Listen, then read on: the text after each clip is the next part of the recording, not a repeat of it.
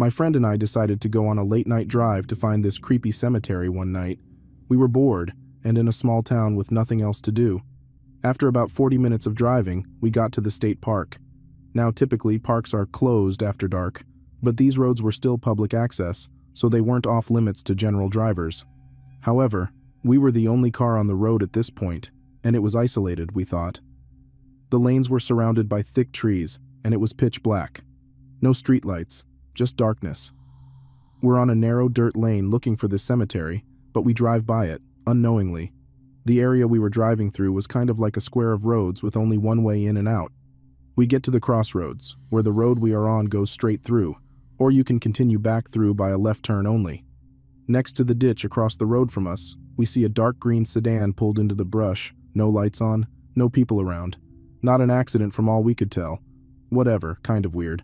But we slowly turn left and begin the loop back around looking for the small rows of old headstones again. As we get back around to the intersection, about five minutes later, the green sedan is still pulled off in the bushes. But now it's not the only vehicle there. There's a big pickup truck idling in the dark across from us, blocking the straight path. Now it had to have come from the other direction since no other cars passed us, or were in front of us or behind us. That was the way we had planned to go, to leave the park since we hadn't found what we were looking for, but we couldn't pass through. This truck was in the middle of the road, taking up all the space on either side. At first, we were thinking, this guy's pal probably got his car stuck and called for help. Then this truck guy turns on his headlights, actually his high beams, and begins revving his engine, hard. My friend and I exchanged looks, wondering who's overcompensating for something, and when we turn back, trying to see through the blinding light, we see a silhouette of a big, bulky man. He's standing in front of the truck, hands on his hips, just standing there. We aren't but a car length and a half away from this guy, and there's nowhere to go but left, which we know just leads us back around to the same place. We sit staring at each other for a few moments, trying to decide what to do. My friend starts pulling the car forward at a snail's pace, trying to keep as much distance between us and this truck as possible, and we make the left turn. He's just standing there, not moving, just looking in our direction. We weren't scared yet, really, but I'm a bit paranoid generally, so I was waiting for him to lunge at the car, throw something at us or something, I don't know. It just felt really off.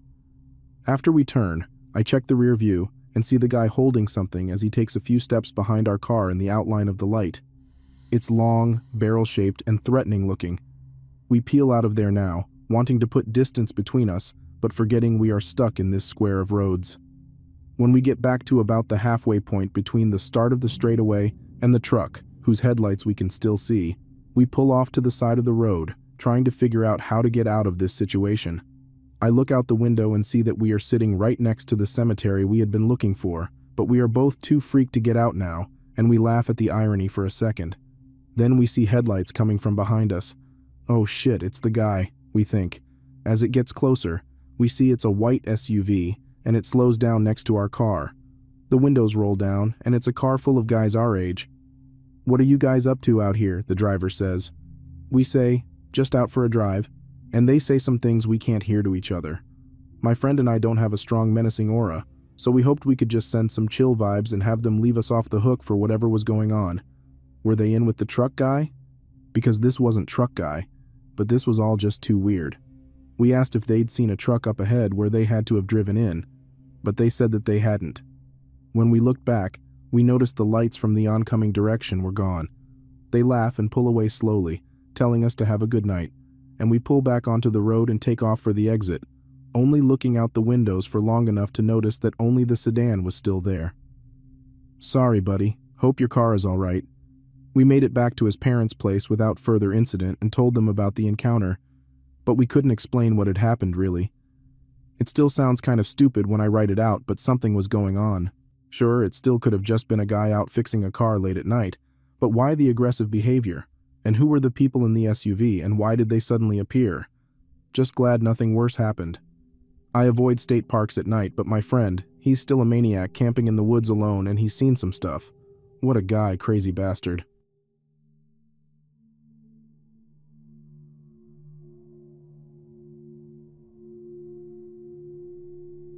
Near where I live, but far out in the sticks, there's a glorified gravel path in the woods called Rube Hill. It runs maybe three miles long, and only a half mile of it is paved. On the south end is the pavement, with a few old but otherwise normal houses dotting it, deceptively average at that point. Then the houses end, the pavement ends, and the gravel road shoots up a steep hill. It's not taken care of at all. The gravel is piled up in potholes and berms, so unless you're driving a nice off-road vehicle, you'd want to take it easy. So since you'd need to drive slowly, you'd get a nice clear view of the handmade signs nailed to the trees with messages like, no trespassing, and, we are watching you, scrawled in Sharpie on them. At the top of the hill, the road winds lazily for a little under a mile, before diving back down the other side of the hill. The gravel is in equally crappy condition on this side. After you reach the bottom of the hill, the road cuts straightish for about a mile through cornfields before intersecting with another road.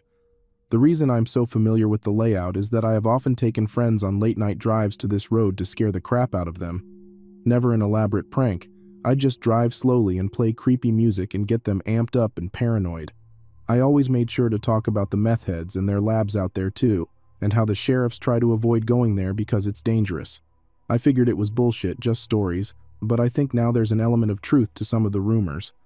I was with my friend Aaron one night, and we decided to go on a late night drive to Rube Hill to freak ourselves out.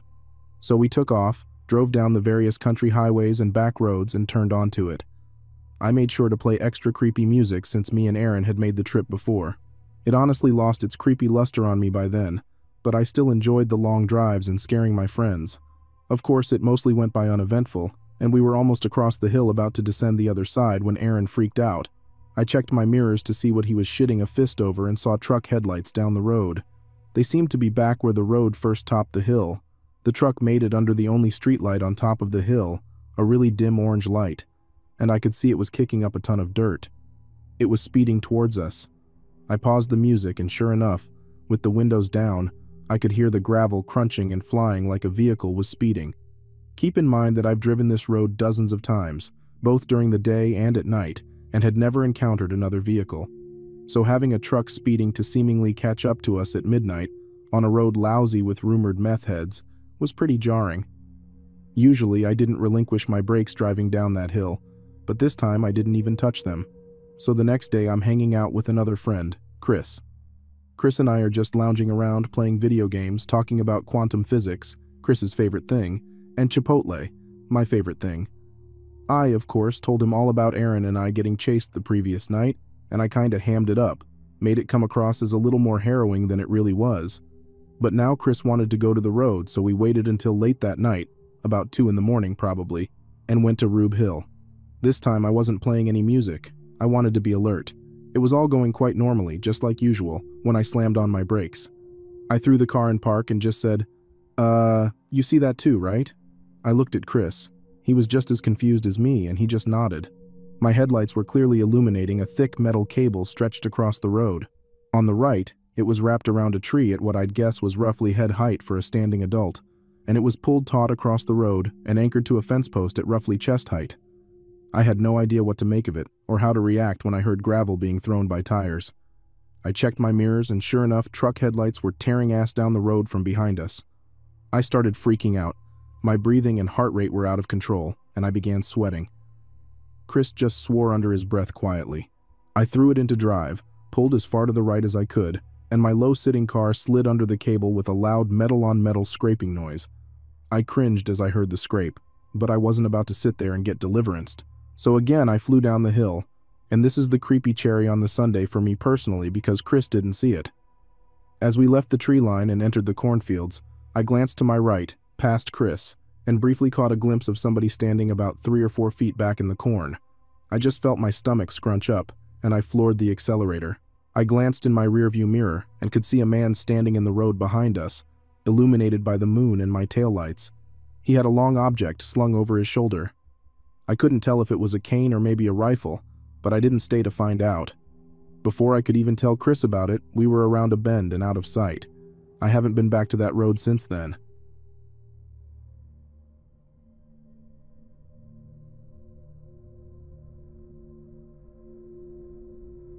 I live in a very rural, mountainous area of California, and at this time was working as a cook in a restaurant. I was 24 and not in the best place financially at the time, so I had been borrowing my uncle's car to drive to and from work. I worked from 5 p.m. to 11 p.m., I know everyone in this area well and I don't have a single enemy. I get along with everyone. One night, I had gotten done closing up the kitchen and decided to have a beer before going home. The bartender was talking to a fellow community member and trying to get him to go home. He was too drunk for his own good. There were some out of towners that weren't too fond of the locals' demeanor, and it seemed like it was getting intense between them. I had my beer and went out and got in the car. I could see inside the bar and spotted the drunk local, completely smashed. I felt bad for not offering a ride home, but was tired from work and told myself he'll be okay. I drive away. Mind you, there's no street lamps, no buildings. It's the middle of nowhere. Pitch black. Quiet. I realize about a mile from the bar that I should turn around and offer the local a ride home. He didn't live far and it wouldn't be far out of my way to do so. I turn around at a muddy turnout and go back. I get in the bar, and I basically was short with the local and told him that I would pick him up in the morning and he could get his truck, sober, that I'll give him a ride home tonight. I was 24 at the time, and a small built female. He was a smaller built 35 ish looking male. I knew this guy had hit on me in the past, but I assumed he was just a 35 year old weirdo who was lonely. I always shrugged off his advances. Anyway, with a couple minutes of reasoning, he finally hopped in the car and I took off, driving towards his home, about five miles away on winding mountain roads. I didn't notice anything at first. He seemed drunk, quiet, mumbly. But not too long into the drive, he starts saying thank you, how nice I am to help him out. I say the usual, of course, no problem. Couldn't let him be there knowing full well he wasn't able to drive. This is where I start getting creeped out. I make a turn on the road he lives on. It's a long road, not many houses. All of the driveways are long, about a mile or two, so you don't see any houses. He gets really quiet and it's dark in the car. I can't see him really well. I notice him look at me though. I could see the reflection of his eyes from the dim lights on the radio. This is something I remember very vividly, his eyes gleaming kind of green from the lights on the radio knobs. He was just looking at me. I, without returning his gaze, said, What's up? Why are you looking at me like that? He says to me, You're so pretty and I never get this chance to be alone with you. I shrugged it off, trying to play it cool, although I started regretting my decision. All of the sudden, he reaches over to me while I'm driving and tries to put his hand, I'm assuming, on my breast, but instead his hands land on my shoulder area. I start yelling at him, telling him to stop. I slam on my brakes in the middle of the road. No one is behind me, there's no one for miles. And I scream at him to get out of this car now, and I repeat it over and over. At this point, I had my hands off the wheel and I was trying to push him out of the car. I had leaned over and opened the car door. I had never in my life realized my own strength, my own weak strength. This 30 something male was not budging against me. I notice him laughing, a really sloppy laugh. He says, you and I both know that no one is around. I said to him, We just left the bar. At least five people know where I am going. Please stop. Here's a flashlight. Walk on home. I'm done with you tonight. He is quiet for a minute before saying, I don't feel like walking much. The way he said it scared the living shit out of me. I start screaming, not like a hoarse scream, but like an ear piercing scream. I knew the scream was strong and loud, and I had even hurt my own ears just hoping someone had their windows open somewhere off in the woods. But nothing happened. We struggled for what felt like minutes as he kept trying to come at me. This entire time he was kind of laughing. He was drunk, so that was probably my only advantage. He was sloppy and trying to attack me for whatever reason. I pushed on him like I had never pushed on anything in my life. I pushed so hard that I felt my arms just burning with pain. When he finally gets out of the car, I slam on the gas not even bothering with the door. Remember, I was headed down a long ass road in the middle of nowhere, and not on my road. It's a dead end road after about 20 miles. So I keep driving down this road I know well, knowing full well I will need to stop to turn around. When I finally do, I turn around fast and in someone's dirt driveway, afraid of the car being still for even a second. I take off driving, knowing he'll be up ahead any second. I never see him. I never see him again. He was a local I'd known for years and saw frequently. I don't know if he took off to another area from embarrassment or what, but I never saw him again. I arrived home shaking, red, scratched, out of breath.